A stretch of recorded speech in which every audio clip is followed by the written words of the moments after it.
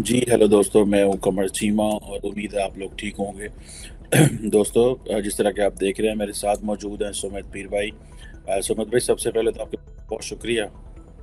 Thank you Shiva साहब, thanks for the invitation. Thank you.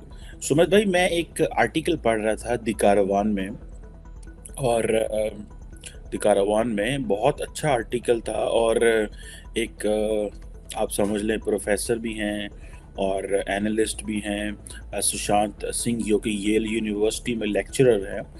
उन्होंने लिखा कि जो इंडिया की जो पॉलिटिकल लीडरशिप है, वो जब चाइना के बारे में सवाल किया जाता है, तो वो पाकिस्तान के बारे में जवाब दिए जाते हैं।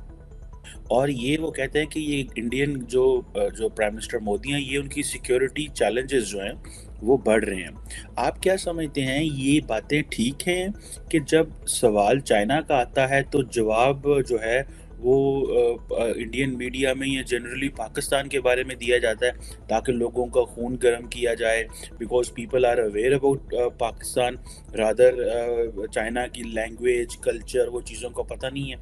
आपको लगता है ये बात में वज़न है? देखिए चीमा साहब शो पे बुलाने के लिए धन्यवाद और पहली बार आपको बताऊँ, सुशांत सिंह जी है, इनका पूरा रिस्पेक्ट है। People are entitled to their own opinion पर ना प्रोफेसर इलेक्शन नहीं लड़ा करते, ना इलेक्शन जीता करते, ना कंट्रियाँ चलाया करते हैं। ठीक है, वो बच्चों को ब्लैक बोर्ड पे पढ़ाते और मैं प्रोफेसर तो नहीं हूँ साहब भाई। मैं ये जानता हूँ, जब 100 करोड़ लोग वोट देते हैं और जिस लीडर को चुनते हैं, अगर हम ये बोले कि 100 करोड़ लोगों का दिमाग खराब हो गया, वो बेवकूफ़ है, उन्हें ये नहीं पता वो क्या कर रहे हैं और ऐसे बंदे को बिठाया, उसे ये नहीं पता वो क्या कर रहा है और किसी को नहीं पता 130-35 करोड़ लोग यहाँ बेवकूफ़ बने फिर रहे ये बहुत ही गलत होगा। भारत को पता वो क्या कर रहा है, हमें किसी प्रोफेसर की ज़रूरत नहीं हमें समझाने के लिए हम क्या कर रहे हैं, क्या नहीं कर रहे हैं या किसी आर्टिकल की नहीं है। You can you are entitled to your point of view आपको पॉइंट ऑफ़ व्यू हो सकता है, but that a point of view is not the words of Bible which are binding on us. Neither the words from the holy Quran which are sacrosanct. ये चीज़ें बहुत clearly समझनी चाहिए। He can have opinion, he can have a point of view but that is not binding on us, that is not sacrosanct. Cheema साहब, यहाँ पे China की जब बात होती है, चाइना की बात होती है। जहाँ यूएस की बात होती है, यूएस की बात होती है, फ्रांस की बात होती है, फ्रांस की बात होती है, पाकिस्तान की बात होती है, पाकिस्तान की बात होती है, श्रीलंका की बात होती है, श्रीलंका की बात होती है। अभी मैं आपका ध्यान देना चाहूँगा रिसेंटली एक आर्टिकल आया था कल-परसों, यहाँ सीआईए के डायरेक्टर लिखते हैं कि इंडिया ने जो ऐप बैन किया था, टिकटॉक बैन किया था, वो यूएस के पार्लियामेंट में डिस्कस हुआ that has paved a way and given us courage to take decisive action against China. ये सीआईए के डायरेक्टर ने पीछे स्टेटमेंट दिया था, आर्टिकल आया था इसके बारे में। ये ये ये ये कोई ये illusion, perception, delusion is a person holding a post and he has given this statement. आज national strategy document of United States में India is the central force. आज फ्रांस के नेशनल स्ट्रैटेजी डॉक्यूमेंट में India is the pivotal force. आज Quad में India is the pivotal force. अगर India आई2के यू2 में करिए, एस सी ओ करिए, जी20 करिए, अगर इंडिया फोर्स नहीं होता, तो ये क्वाड की बनाने की ज़रूरत थी? चलिए हमें ज़्यादा राजनीति समझ नहीं आती, प्रोफेसर साहब को ज़्यादा आती है। तो ये जो हमारे ये जो हमारे जो बाइडन है, इन्हें भी नहीं आती। ये जो जापान वाले, ऑस्ट्रेलिया वाले, इन्हें भी नहीं आती, एससीओ वालों को भी नहीं आती, जी20 वालों को भी नहीं आती। अरे मतलब भगवान के लिए किसी को तो आती होगी भाई। अब आप बताओ सात बिलियन लोगों से मैं my thought process speech that is that is a thing which you can live with, but that is not the reality of life. और चीमा साहब मैं आपको बताऊँ प्रैक्टिकल बात करें, ये तो होगी थ्योरेटिकल बात। प्रैक्टिकल बात करें, जितना डिप्लॉयमेंट भारत ने अगेंस्ट चाइना आज तक किया, historical deployment is against China, quote unquote doctor Jaishankar. Historical मेरा डिप्लॉयमेंट इज़ अगेंस्ट चाइना और जितनी कम समय में जितनी ज़्यादा रोड, सड़कें, बिल्डिंग और मिसाइल सिस्टम्स का हमने इंडक्शन किया, 36 से ज़्यादा तो मिसाइलें हमने टेस्ट कर ली पिछले दो साल में। वो कर लिया, जब रफेल लिया, चिनूक लिया, अपाचे लिया, ये सब लिया और इसको डिप्लॉय कर लिया।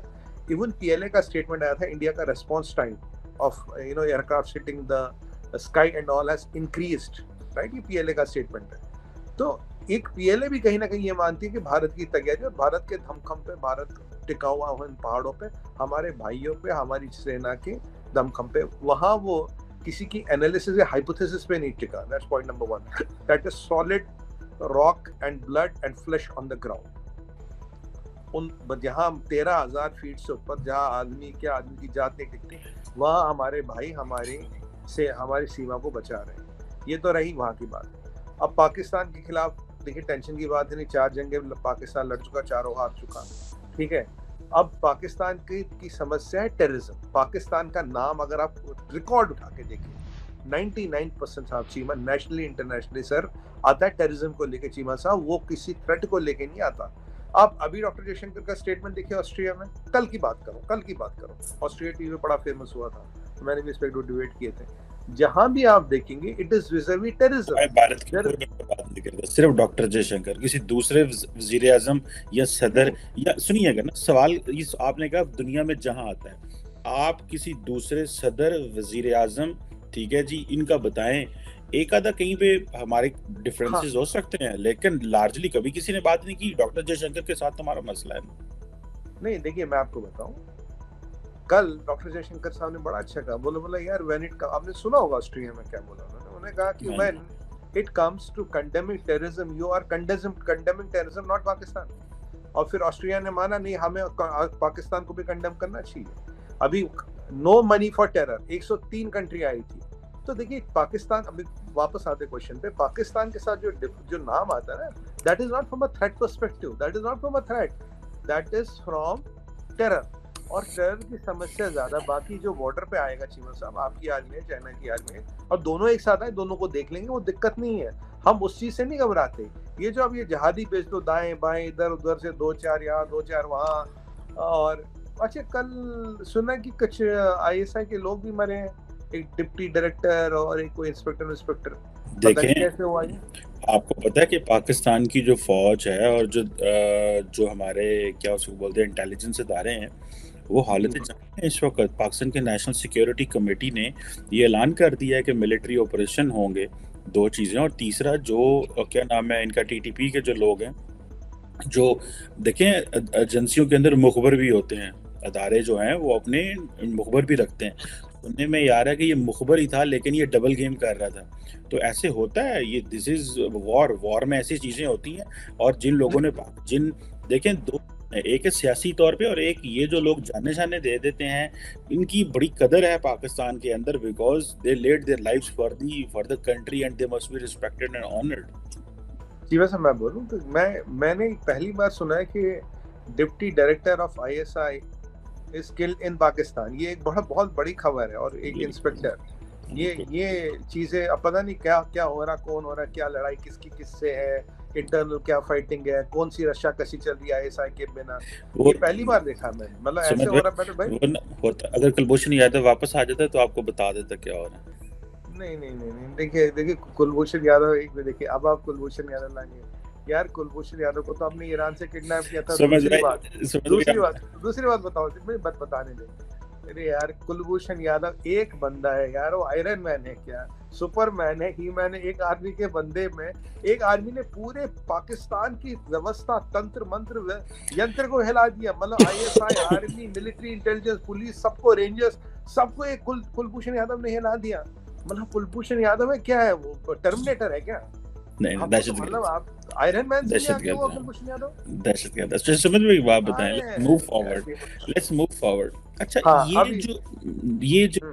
हाँ। फिर हम आपस में शुगल हमारा लग जाएगा नहीं नहीं मैं एक एक लास्ट विटनेस बताऊँ हाँ। तो ये पाकिस्तान की बात पूरी होगी। पाकिस्तान का मिशन टेररिज्म में आता और चाइना को हम निपट लेंगे। जिस कंट्री को जैसे होगा वो निपट लेंगे। प्रोफेसर साहब की ना ही डायरेक्शन की ज़रूरत है ना ही येल यूनिवर्सिटी की पेट्रेनेज की ज़रूरत है ना ही किसी एंडोर्समेंट की ज़रूरत है। जो हमारी इलेक्टेड गवर्नमेंट और हमारी आर्मी है they are competent enough to handle the country's affairs thank you very much मेरा ख्याल है कि जब डॉक्टर जयशंकर पाकिस्तान के बारे में कहीं बात करते हैं तो वो कहते हैं, जी, Pakistan is epicentre of terrorism या इस तरह की बात करते हैं। और जब पाकिस्तान के वज़ीर खारजा बिलावल भुटो जरदारी कहीं बात करते हैं तो वो फिर इस तरह की बात कर देते हैं कि जी, Osama bin Laden is dead लेकिन गुजरा गुजरात ज़िंदा है। तो ये मेरा ख्याल है फॉरेन मिनिस्टर्स के दरमियान ये जो जंग है ना, लफ्ज़ों की और ये चीज़ों की, ये तेज़ हो गई है। इसीलिए तो हम कहते हैं कि किसी तरीके बैठ के मसले हल हो जाए। ना वो उनको कुछ कहें, ना वो कहें बट एनी हाउ सुमित भाई, एक बात बताएँ, जो कि obviously that's a very serious point ये कहा जाता है, इसी आर्टिकल में लिखा है डॉक्टर साहब ने सुशांत सिंह साहब ने, और उन्होंने कहा है कि हम अपने लोगों से सवाल करते हैं, कई दफ़ा पूछते हैं, बल्कि वो एक ज़िक्र करते हैं स्टिमसन सेंटर की स्टडी का। कि जिस स्टिम्स सेंटर में एक स्टडी हुई और उस स्टडी में ये कहा गया कि आई थिंक 90 परसेंट इंडियंस ये बिलीव करते हैं कि अगर भारत की पाकिस्तान के साथ जंग हुई तो जो है वो इंडिया वो जंग जीत जाएगा। लेकिन रिसेंटली अगर आपको याद हो कि इंडिया के जो डिफेंस मिनिस्टर साहब हैं या इंडिया की जो एक जनरल साहब भी थे जनरल आई थिंक द्विवेदी साहब जो नॉर्दर्न कमांड को हेड करते हैं उन्होंने भी ये बातें की, वो कह रहे हैं कि हमने, उन्होंने कहा जी कि हम आज़ाद कश्मीर वापस ले लेंगे। लेकिन वो कहते हैं कि ये जो बातें हैं ना, वापस लेने की या पाकिस्तान से लड़ने की, ये फ़ौज के अंदर कोई बातें नहीं है, ये सीनियर जनरल्स हमें बताते हैं। ये सिर्फ़ सियासी स्टेटमेंट्स हैं। सो क्या ये बातें सही हैं कि ये सियासी स्टेटमेंट्स हैं? या क्या आप समझते हैं कि इसका कहीं ना कहीं पे पॉलिसी से भी कुछ ताल्लुक है? देखिए, जी मैं सब दो सवाल किए ना तो दोनों का आपको जवाब दे देता हूँ। पहली बात जो Pakistan is epicentre of terror ये दुनिया कहती है। पचास हज़ार टेररिस्ट आपके यहाँ सब जानते हैं। यूएन के सबसे ज़्यादा डेजिग्नेटेड टेररिस्ट आपके यहाँ, दुनिया का सबसे बड़ा टेररिस्ट आपके यहाँ पाया जाता है, पकड़ा गया। और ये मुशरफ साहब ने कहा था, कोई भी टेररिस्ट हो, उसके तार पाकिस्तान से जुड़ते हैं। टेरिस कैंप आपके यहाँ बैट टीम्स आपके यहाँ लॉन्च पैड्स आपके यहाँ जवेरी आपके यहाँ, ये ओसामा बिन लादेन जो दुनिया का सबसे खतरनाक टेरिस्ट है, उसका आपके प्रधानमंत्री जी कहते हैं कि ये शहीद आज़म है, ये नकवी, ये हाफिज सईद अजहर महमूद, सलाउद्दीन, ये सब आपके यहाँ पाए जाते हैं। दाऊद इब्राहिम भी आपके यहाँ जाए डेजिग्नेटेड टेररिस्ट कोई है। तो अगर एपी सेंटर ऑफ़ टेरर कहा जाए डॉक्टर जयशंकर साहब ने गलत नहीं कहा। मोदी जी के बारे में जो उन्होंने कहा, उन्हें ये नहीं कहना चाहिए था, क्योंकि अगर आप देखें high court sessions court high court SIT supreme court 22 साल बाद भी उन्हें क्लीन शीट मिला, ये चीज़ें पर्सनल कमेंट करना। अगर आपके पास तर्क ना हो, अगर आपके पास तर्क ना हो तो आप पर्सनल कमेंट पे अगर आपके पास लॉजिक हो, मैं आपको लॉजिकल चीज़ें गिना रहा था। मैं मैं नाम नहीं ले रहा, मैं किसी को कुछ नहीं कह रहा, मैं नाम ले रहा हूँ और मैं बताया आदर के साथ ये ये चीज़ें आपके हैं और इसीलिए हम कह रहे हैं Pakistan is the centre of terrorism data but जब जरदारी साहब के पास कुछ पॉइंट बचे नहीं, वो पर्सनल कमेंटों पे आ गए, वो फिर वही परसेप्शन पे आ गए, ये आ गए, वो आ गए। और वो ये डिनाई नहीं कर सकते कि उसामा बिन लादेन आपके यहाँ पकड़ गया वो ये डिज़ाइन नहीं कर सकते अबूटाबाद हाँ। हुआ था। वो ये डिज़ाइन नहीं कर सकते तीन चार बीवियाँ थी। वो डिनाई नहीं कर सकते थे मतलब खानदान की वृद्धि हो रही थी बच्चे पैदा हो रहे थे। वो डिनाई नहीं कर सकते कि लकवी के जेल में भी बच्चे पैदा हो रहे थे। तो ये चीज़ें चीमा साहब they are factually correct so so for foreign minister and Dr. Jaishankar told yesterday, I could have used harsher words, but I choose not to तो फिर बिलावल बिलावल जो ये कहता है कि अमेरिका ने जो है मोदी साहब को वीज़ा नहीं दिया क्योंकि उनके ऊपर था कि वो बुचरा गुजरात हैं तो वीज़ा सही दिया था कि नहीं दिया था? नहीं चीमा साहब देखिए वीज़ा सब दिया था सब मिला। कितनी बार मोदी साहब अमेरिका हुआ है? कितनी बार मोदी साहब अमेरिका हुआ है वो तो बाद में मिला ना बाद में मिला जब बाद में नहीं बाद नहीं एक बात चीमा साहब एक बात देखिए अगर ये सच्चाई होती तो पहले था बाद में नहीं था। क्या क्या वॉशिंग मशीन में धुल गया क्या? आरोप? यस नहीं वो अवाम में तो है। अवाम में तो है। थोड़ी ना हमारे पास। नहीं ये बात जो है। नहीं सिर्फ़ ये मेरे नॉलेज के लिए मैं बताऊँ मैं आपको ये बात सही है कि वीज़ा रिजेक्ट हुआ था उनको उनको अमेरिका ने वीज़ा नहीं दिया वीज़ा उन्होंने मांगा ही नहीं था। It's on record he never applied for a US visa उन्हें ज़रूरत क्या अच्छा। अच्छा ये आप बता रहे हैं आज पहली दफ़ा। नहीं नहीं नहीं नहीं अब चीमा साहब ये मैं आपको क्लैरिफाई कर दूँ। This is on official record he never applied for a ये हवा उड़ाई गई थी यहाँ के कुछ लोगों ने चिट्ठियाँ उठियाँ लिखी इनको वीज़ा मत दो। सर अमेर जो बाइडेन तो देखा नहीं, मोदी जी के पास आके मिल के बात आता है। वो जमाना गया प्रोपोगंडा का टाइम निकल गया, सब प्रोपोगंडा ही चलाई गई थी। देखिए, कोई भी नेशनलिस्ट हो उभरता हुआ सुधार हो भारत में, उसको पोलिटिकल आरोप लगता है। मैं आपके सवाल पे आता हूँ पीओके वाले सवाल पे। पीओके वाला सवाल ये है, चीमा साहब, हमारी आर्मी एक इंडिपेंडेंट आर्मी है। हमारी आर्मी कोई फौजी तंजीम वगैरह तो चलाती नहीं, कोई कोई बीस परसेंट जीडीपी तो कंट्रोल करती नहीं, कोई व्यापारी नहीं है फौजी है। फॉर, और ये, और इनका पॉलिटिक्स में कोई इन्वॉल्वमेंट नहीं है। I am proud of my army और जब भी इन पे डिलीवर करने का टाइम आता है दे ऑलवेज डिलीवर ये एक बात है। रिसोर्सेज हो ना हो सिचुएशन कैसी भी टफ हो Indian army always delivers and never shies away चाहे वो जान दे के डिलीवर करना पड़े, कुछ भी करना पड़े, एक मिनट भी नहीं सोचते ये लोग ये नॉन पोलिटिकल लोग हैं। आपके यहाँ एस्टेब्लिशमेंट होती है पोलिटिकल आपके यहाँ एस्टेब्लिशमेंट डिसाइड करती है प्राइम मिनिस्टर कौन बनेगा, कब तक रहेगा। आपके एस्टेब्लिशमेंट डिस्कस करती है किसका वीडियो टेप बनाना, किसका वीडियो टेप रिकॉर्ड करना और कौन सी क्लिपिंग किस दिन, किस पे, किसके लिए छोड़नी है और कितनी क्लिपिंग्स रिलीज़ करनी है। यहाँ ऐसा कुछ नहीं होता। यहाँ आर्मी से पूछा गया कि अगर आपको बोला जाए पीओ के लेने के लिए, विपिन रावत जी की बात करें, स्वर्गीय विपिन रावत जी की बात करें, द्विवेदी साहब की बात करें और उनकी जगह जो भी कोई नहीं उनका एक ही आंसर होता है। अगर आप देखेंगे पिछले पाँच साल से सात साल से जिस दिन गवर्नमेंट आदेश करेगी जिसमें political dispensation of the government of the India will order will deliver the PoK उनका एक आंसर है will deliver the PoK this is what we expect from our army and we salute them for that आज़ाद कश्मीर ना होगी गाड़ी हो गई deliver कर। नहीं वो वो तो वो तो आपको सोचना है ना। वो आपको सोचना आप तो अगर टेंशन नहीं है मुतमईन रहिए ना काहे को परेशान नहीं हम तो मुतमईन हैं? हाँ। बिल्कुल मुतमईन रहिए तभी तो आपको सवाल हम हमारी फौज ये कहती है कि 75 साल हमने भारत ही सोचा है बस ऐसे अच्छा दूसरी बात आपको बताऊँ देखिए अब दूसरी इंटरेस्टिंग चीज़। हमारे यहाँ आर्मी चीफ आते हैं जाते हैं दो मिनट का एक सेरेमनी होता है। पुराने चीफ साहब बैठते हैं नए चीफ का वो हैंडलिंग ऑफ़ बैटन जाता है और खत्म। चीमा साहब दिल पे हाथ रख के बोलो। पाकिस्तान में प्राइम मिनिस्टर बदलता उतना शोर शराबा इंटरनेशनल मीडिया नहीं में था जितना आर्मी चीफ बदलता। बाजवा साहब जाएँगे आएँगे कब? ये तो मानोगे? नहीं नहीं तो, तो ये तो शुरू से रियलिटी है देखें पाकिस्तान तो, में फौज ताकतवर है।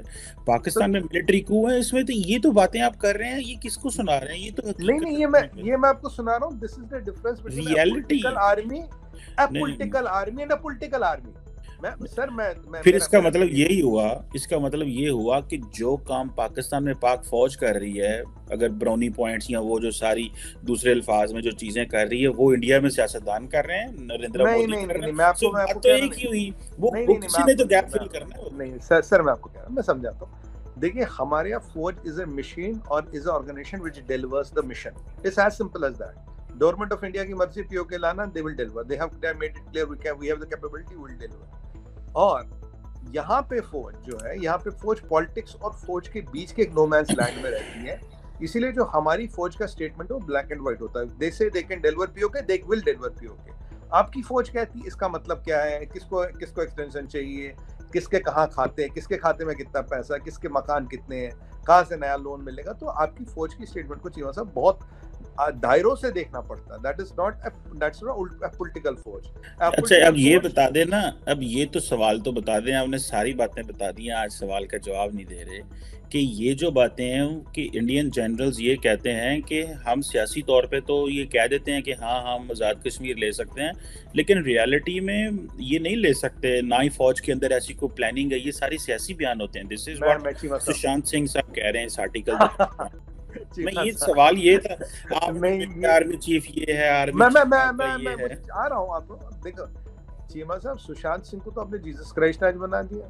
भाई जो उन्होंने बोल दिया वर्ड तो बाइबल है। सुने सुने पता क्यों बनाया? जब अमेरिका से कोई आ, उसका ट्विटर का हेड आता है या माइक्रोसॉफ्ट का आता है तो आप कहते हैं जी ये इंडियन है कमाल है कमाल है। नहीं नहीं नहीं सुनो सुनो सुनो सुनो सुनो और अगर हाँ। कोई इंडियन सुशांत सिंह येल में पढ़ा रहा है कोई बड़ा काम कर रहा है तो आप कहते हैं आज तो आपने उसको ऐसे बना दिया।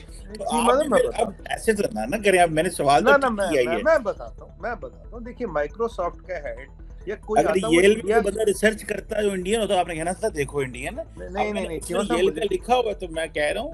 तो आप नहीं मैं मैं अब मैं बताता हूँ सुनिएगा। देखिए मुझे आप जरा एक दो मिनट दें। देखिए सबसे पहली बात माइक्रोसॉफ्ट का आइडिया सुंदर पिचाई या कोई आता वो पॉलिटिकल इकोनॉमिक और सोशियो इकोनॉमिक मसलों पे बात नहीं करता वो करता ग्रोथ की डेवलपमेंट की बिज़नेस कितना बढ़ेगा।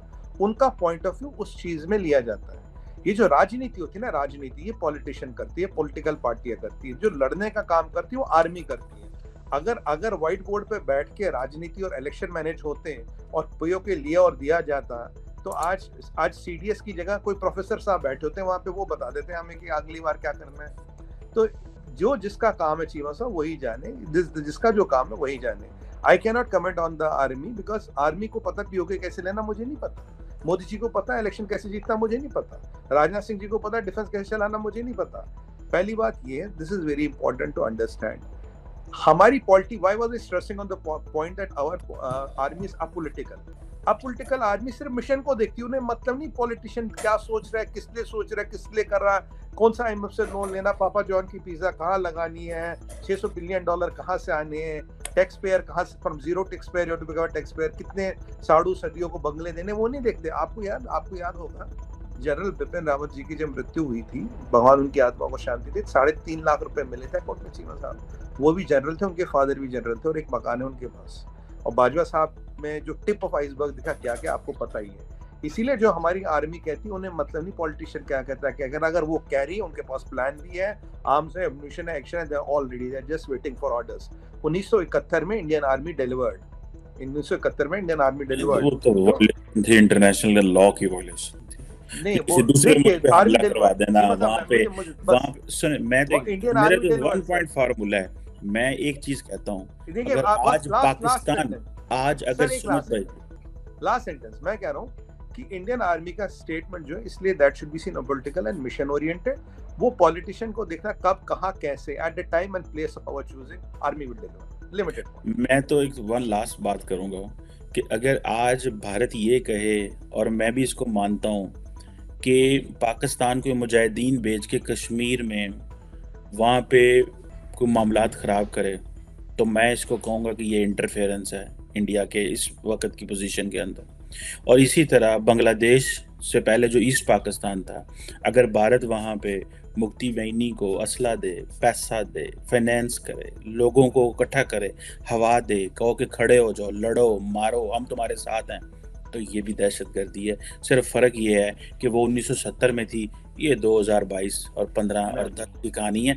फ़र्क सिर्फ़ इतना उस वक्त इन चीज़ों की इंटरनेशनल कॉन्टेक्स्ट नहीं थी आज इंटरनेशनल कॉन्टेक्स्ट है। डिफरेंस मैं मैं नहीं इसको डिफरेंस कहूँगा लेकिन क्योंकि लार्जली वो जो है वो पाकिस्तान अपनी स्टोरी इस तरह सुना नहीं सका।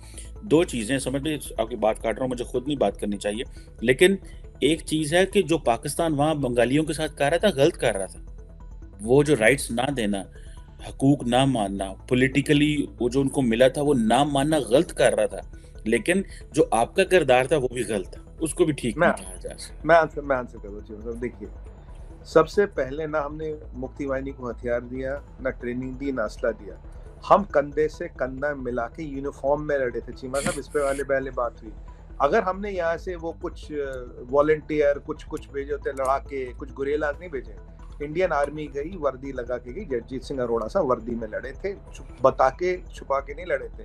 आपने दो मिलियन बंगाली मारे दो लाख औरतों का आपकी आर्मी ने ये ये ये ये प्रोपेगेंडा है। इसमें कोई नहीं नहीं स्टैटिस्टिक्स एक एक लाख बच्चे एक लाख बच्चे जो पैदा हुए थे उनका ओरिजिन पाकिस्तानी था और आप मुझे आपके जनरल आपके एक जनरल साहब बैठे थे पिंडी और ये बहुत बड़ा प्रोपेगेंडा है कि उन्होंने रेप मैं मुझे बोलने तो दीजिए। जब जब जनरल। साहब पिंडी में बैठे थे चीमा साहब उन्हें जब पता लगा तो बोला अच्छा आप भूखे नंगे बंगाली गए आप भूखे नंगे बंगाली हाँ, कहा। ये बोला था।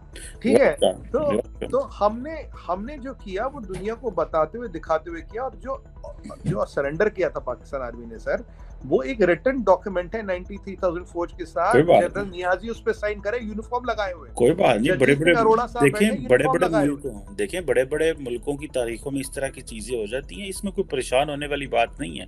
लेकिन नहीं नहीं कोई बात नहीं है हो जाता बड़ा है। दिल है आपका? नहीं नहीं हो जाता है ज़िंदगी है। देखें गलतियाँ करेंगे तो नुकसान तो होते हैं मैं ये समझता हूँ। लेकिन सिंपल सी बात है कि अगर मुक्ति बेनी को भारत फंड करेगा वो भी गलत है और अगर पाकिस्तान मुजाहिदीन को कश्मीर में फंड करेगा वो भी गलत है।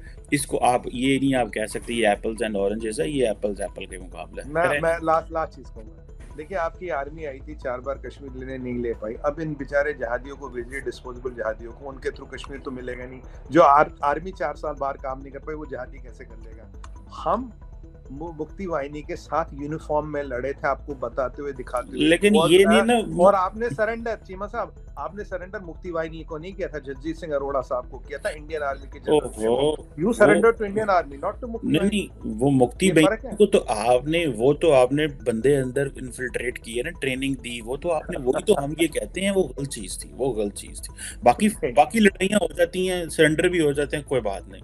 ज़िंदगी में बड़ी बड़ी चीज़ें हो जाती हैं। और वैसे भी गलती अपनी हो तो ब्लेम किसी को नहीं पहले करना चाहिए पहले अपनी गलती ढूंढनी चाहिए फिर अगले को कहना चाहिए कि भाई आपने वो जो काम किया। आज आपने ना सुशांत सिंह के सवालों के सही तरह जवाब नहीं दिए जो सवाल थे ना आज आपने ज़्यादातर जो है वो अपने आप को डिफेंड करने की बजाय आपने जो है ना वो पाक फौज के ऊपर हमले ज़्यादा करते रहे। नहीं नहीं मैं जवाब दूँ। बस मैं जवाब देखिए देखिए चीमा साहब कोई भी को, कोई भी ए बी सी डी को क्या परसेप्शन रखता? अगर मैं उसके जवाब देने लगा तो दुनिया कम पड़ जाएगी। दुनिया में आठ बिलियन लोग हैं किस किस के परसेप्शन का जवाब दूँ? यही है, यही पहली पाकिस्तान कहता है कि जब डॉक्टर जयशंकर जो बोलता रहता है ना नहीं डॉक्टर भाई लोग जयशंकर साहब छोड़ो डॉक्टर जयशंकर साहब is is the is the external affairs minister. तो उनकी बात और बिलावल भुट्टो की बात अलग है। पहली बात ये है। दूसरी बात मैंने आज आपको फैक्ट्स बताए। तीसरी बात चीमा साहब का दिल बड़ा बहुत बड़ा कहना है बांग्लादेश गया तो गया यार छो और चौथी बात आपको जाते जाते बोलूँ, आज चीमा साहब को देखे ना कि वो शाहरुख खान की पिक्चर का डायलॉग याद आ गया दिल वाले दुल्हनिया ले जाएँगे बड़े बड़े लोगों के साथ छोटी छोटी बातें तो होती रहती है। मैं मैं शाहरुख खान के ऊपर भी आपसे बात करनी है किसी दिन कि उसको क्या मसाइल हैं, क्योंकि वो बेचारे को भी रोज़ सुना है, वो जिधर जाता है जो है वो सांग परिवार वाले वहाँ पहुँच जाते हैं, उसके खिलाफ हमले करते हैं, कुछ करते हैं, वो भी किसी दिन आपसे बात करनी है कि ये हमारे शाहरुख खान को आपने क्यों तंग किया हुआ? अगर वो वहाँ पर मुश्किल में है तो पाकिस्तान आ जाए, हम उनको सर आँखों में बैठाएँगे। शाहरुख खान आपका कब से हो गया? वो तो है ही पेशावर उसके बाद अजदाद पेशावर से हैं। क्या हो गया समझ भाई इतना तो पता होना चाहिए। नहीं, वो तो इंडियन सिटीजन है सर वो इंडियन नेशनल है पाकिस्तानी नहीं है वो। नहीं नहीं, नहीं उसके Shahrukh Khan is not Pakistani Indian उसके बाद अजदाद पेशावर से हैं सो डोंट वो कुछ भी हो सकता फिर तो आप भी हिंदुस्तानी हो गए ना उस हिसाब से। नहीं मैं तो पाकिस्तान से। पाकिस्तानी तो आप